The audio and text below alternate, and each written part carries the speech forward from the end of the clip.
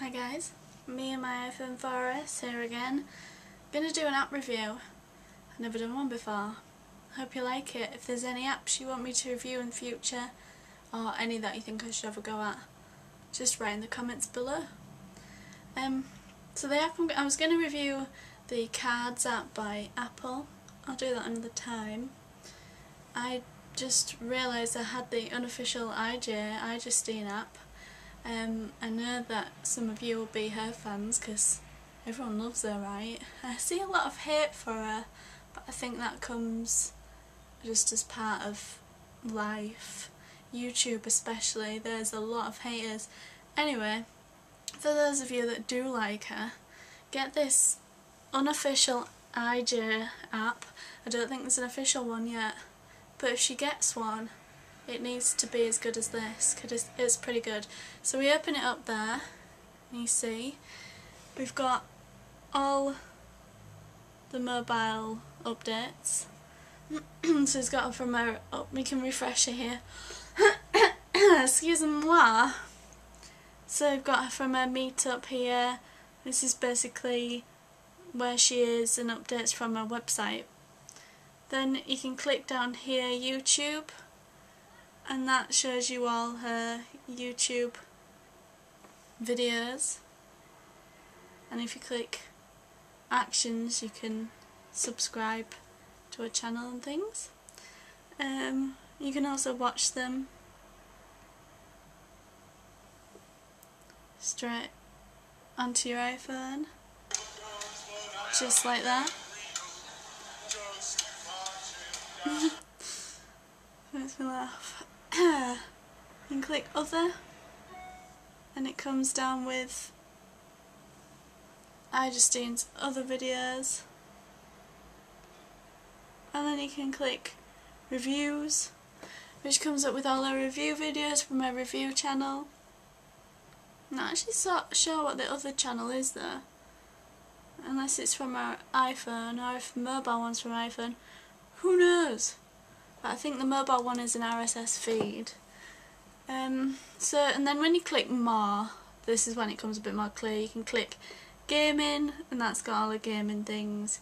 You can click phone, so it's basically just what was there, but a bit more. So, when you click other, that comes up with the other iJustine, so that will be what the other thing is on the videos. Um, and forgot. I never knew about this one. iJustine forgot. Latest one being iJustine forgot to buy bananas. But the last time she wrote on that was 314 days ago, so Ask IJ, you can see everything that's been hashtagged with Ask IJ and join in if you want. Flickr, you can see all her Flickr stuff. It's kind of creepy. See everything she's doing. Facebook, when it's loaded, that's how just seen this Facebook page. Faboosh, way better than mine.